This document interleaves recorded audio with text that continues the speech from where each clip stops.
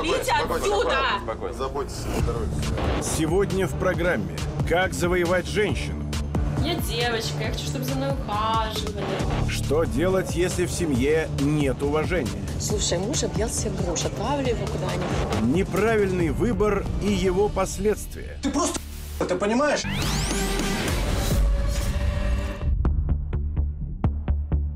Наша команда готова приступить к очередному расследованию. Денис и Дмитрий встречаются в центре города для знакомства с заявителем по новому делу. Денис подъехал, работаем. Оказывается, существуют еще такие формы, как брачное агентство. Они существуют еще? Я сам был удивлен, но жена нашего заявителя работает в таком. Это опасное Кажется, производство, где-то рядом да? с пенсионным фондом. Внимание, подходит заявитель. Увидели его? Зафиксировали. Михаил Вартанов, 26 лет, аспирант исторического вуза.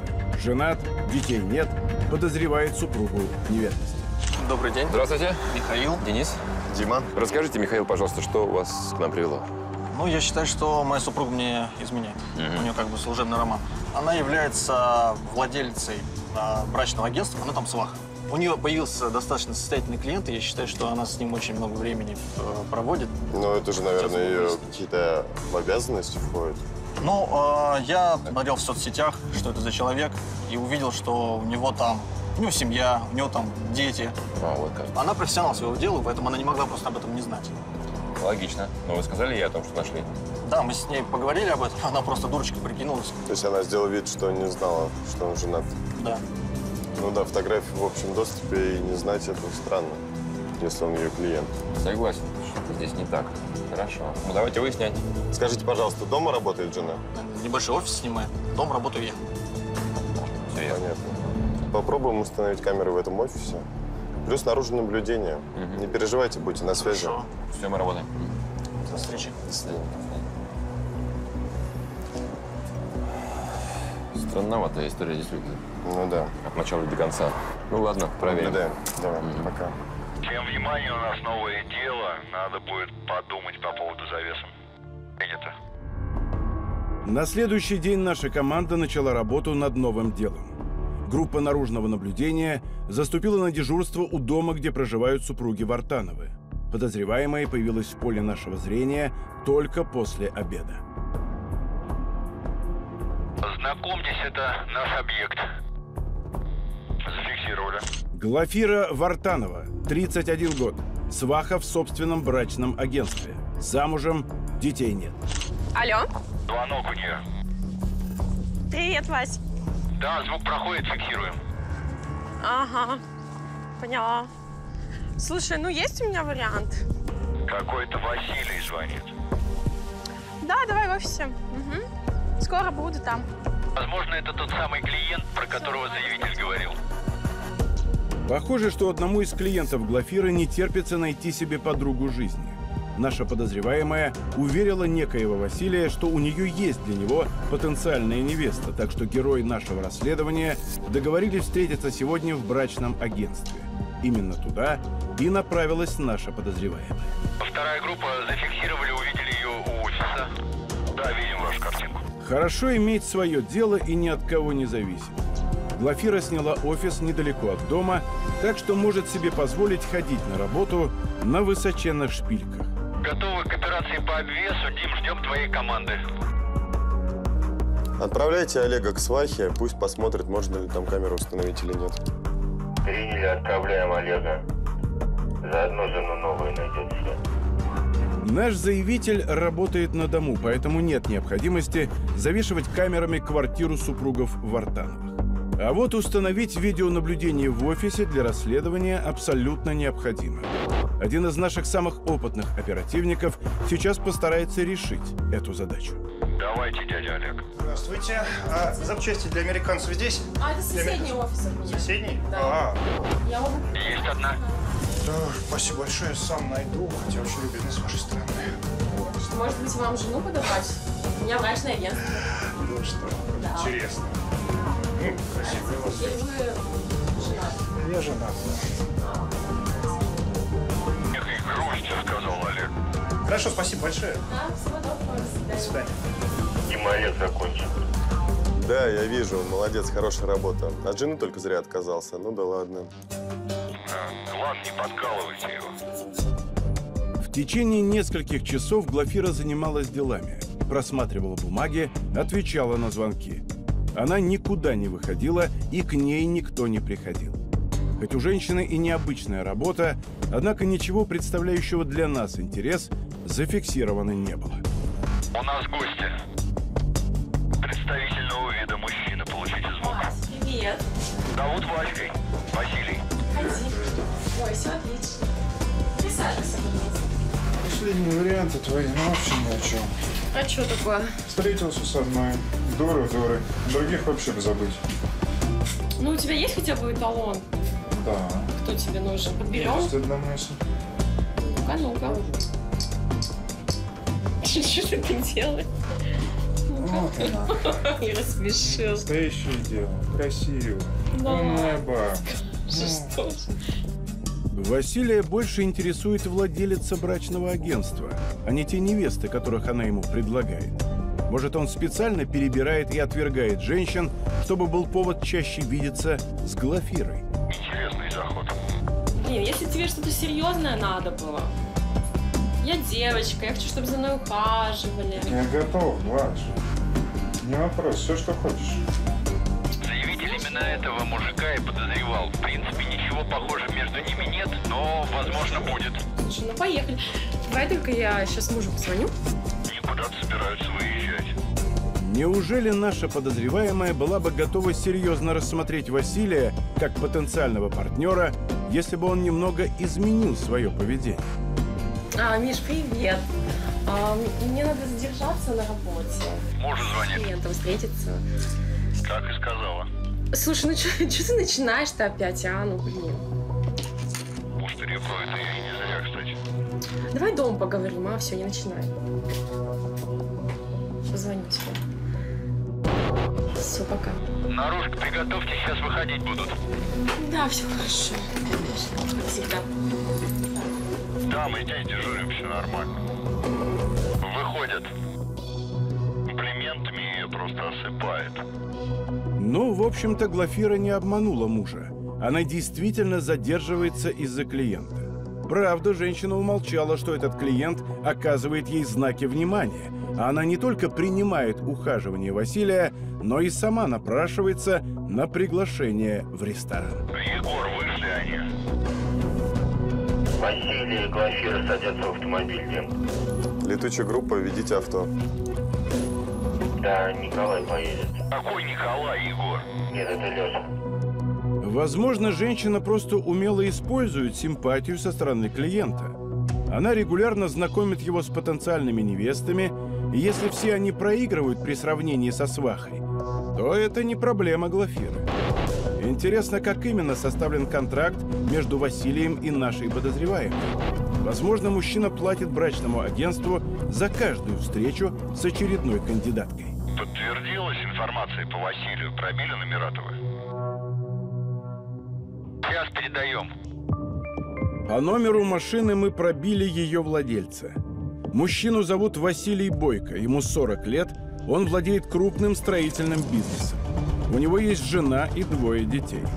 Значит, это тот самый особый клиент Глафиры, на которого падают главные подозрения нашего заявителя. В ресторан пойдем.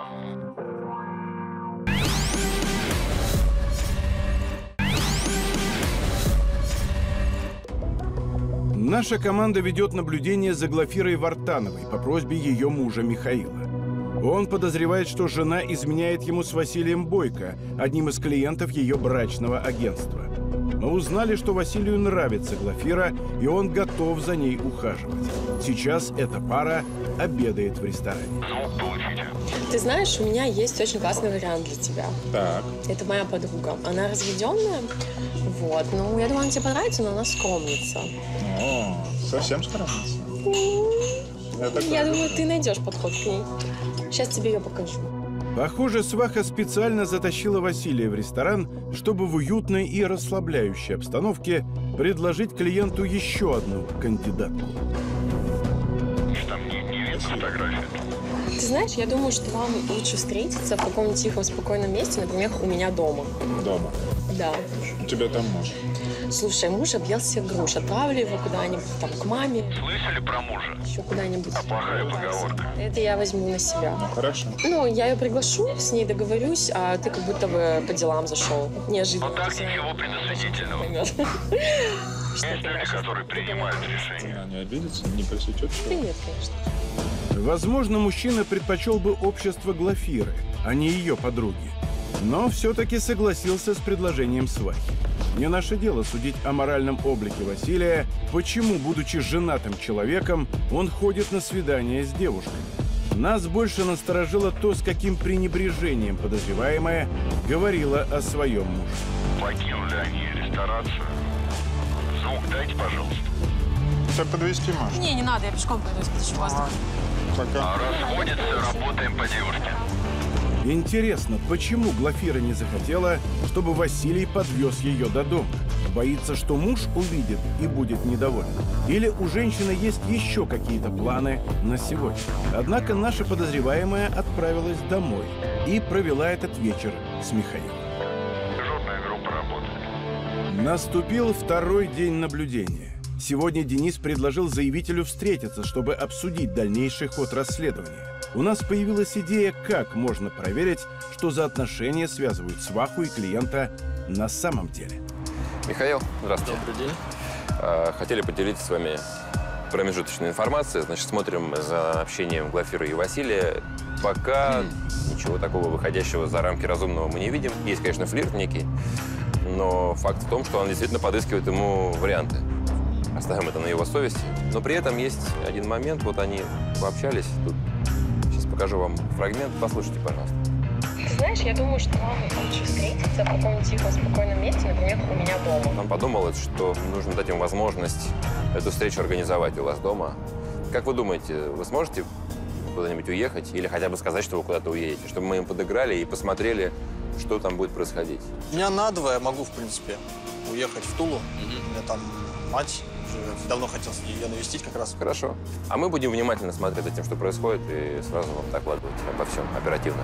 Пока нам кажется волноваться не о чем. Флирт флиртом, но это всего лишь работа. Все, до До свидания. свидания. Ну, по крайней мере, пока что продолжаем. Когда Глафира ушла на работу, оперативники приступили к установке камер в квартире супругов Вартановых. Теперь мы сможем узнать, состоится ли вообще встреча Василия с подругой Свахи. Действительно ли наша подозреваемая заинтересована в том, чтобы свести клиента с другой женщиной? Вроде есть, Олег. Алло, Глаш, привет. А, слушай, мне мать позвонила сейчас, э, сказала, ну, она неважно себя чувствует. Вам так срочно надо?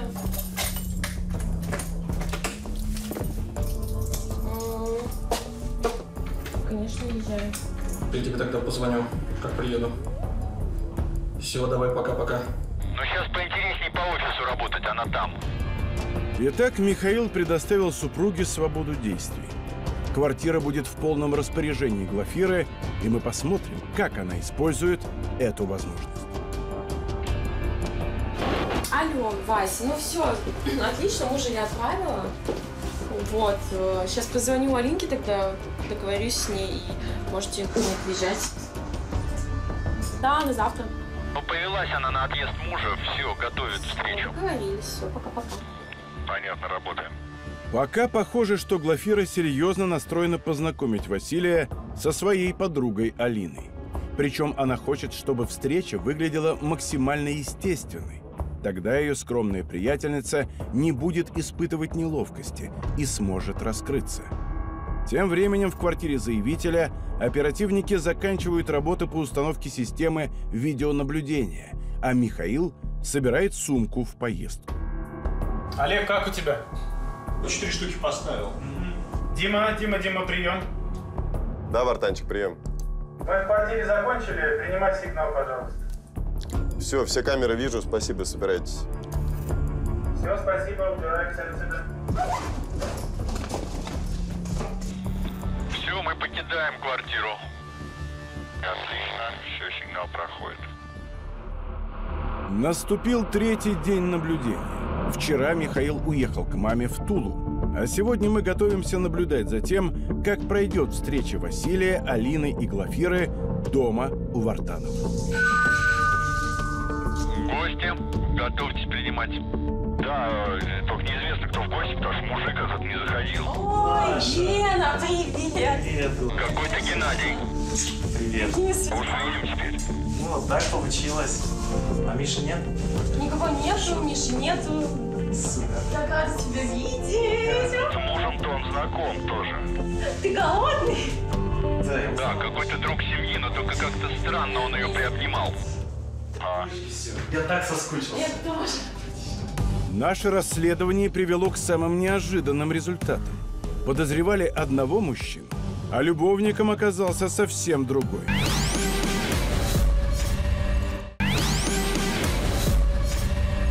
В ходе расследования было установлено, что Глафира Вартанова изменяет своему супругу Михаилу. Вчера, когда наш заявитель уехал к маме в Тулу, к его жене приехал некий Геннадий. Женщина провела с ним несколько часов, а затем он уехал. Сейчас у офиса Глафиры Денис и Дмитрий ждут возвращения Михаила, чтобы сообщить ему горькую правду. Так очевидно было, что тот самый Василий с ним что-то неладное, да? Да, ложный путь. Внимание, такси с заявителем на подъезде, обратите внимание. Да-да, видим, готов встретить, отработаем. Вы- Вышел он из автомобиля.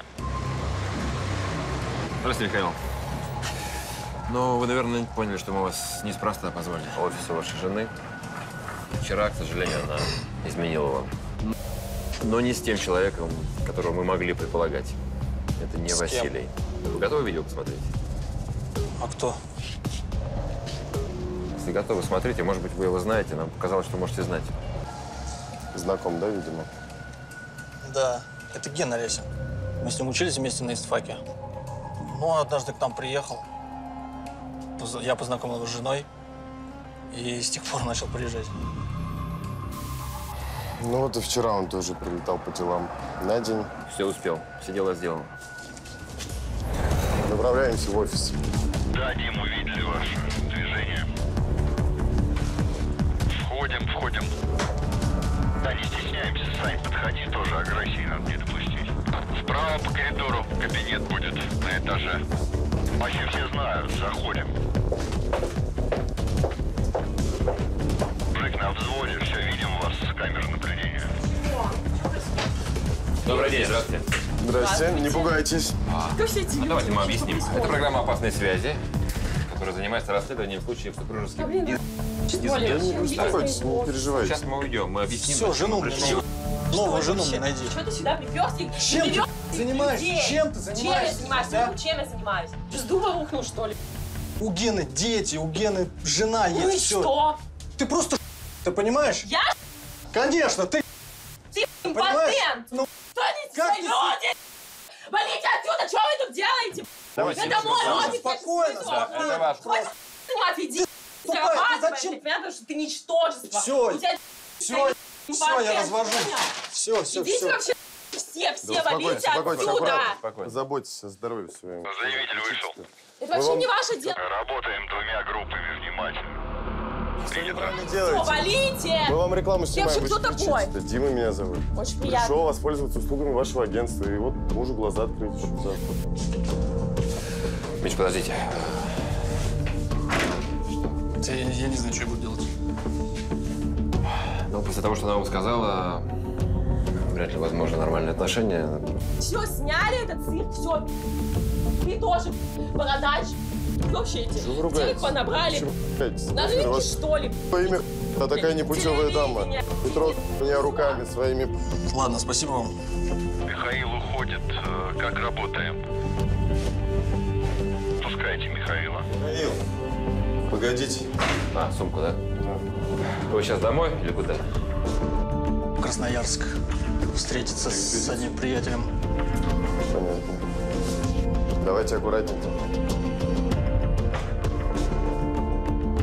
Да. Красноярск, ну он погорячился. Я думаю, что он сейчас придет в себя немножко. Поймет, что да нет смысла ехать. Разберусь. Мы свое дело сделали. Стоп, ребят. Супруги Вартановы развелись. Михаил действительно уехал из Москвы, но не в Красноярск, а на раскопки в Херсонес. Дальнейшая судьба Глафиры нам неизвестна.